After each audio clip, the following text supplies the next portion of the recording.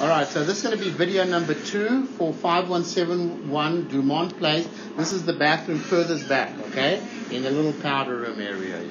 So you've got roots out there which we've located at one foot nine inches deep outside of the house with a cast iron the clay pipe meet.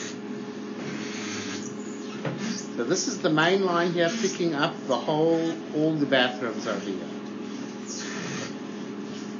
So this little section doesn't look too bad to me.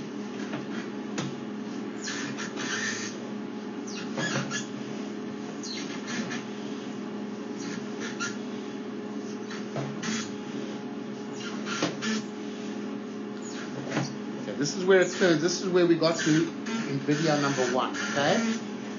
so coming back from here, we saw this section in video number one.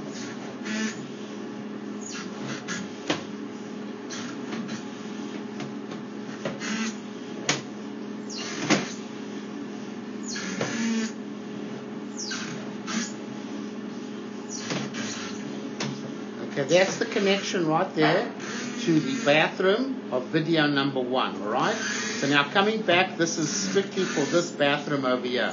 And here, we definitely have a little bit more rust buildup in the pipe.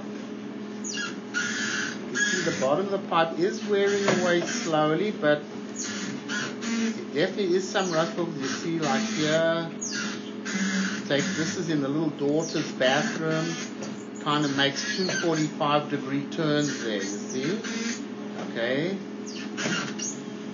Then it comes back. This is all coming back strictly for this one bathroom over here.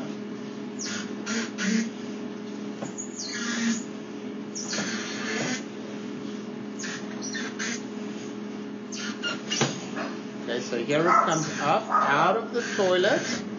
I'm going to stop the recording over here.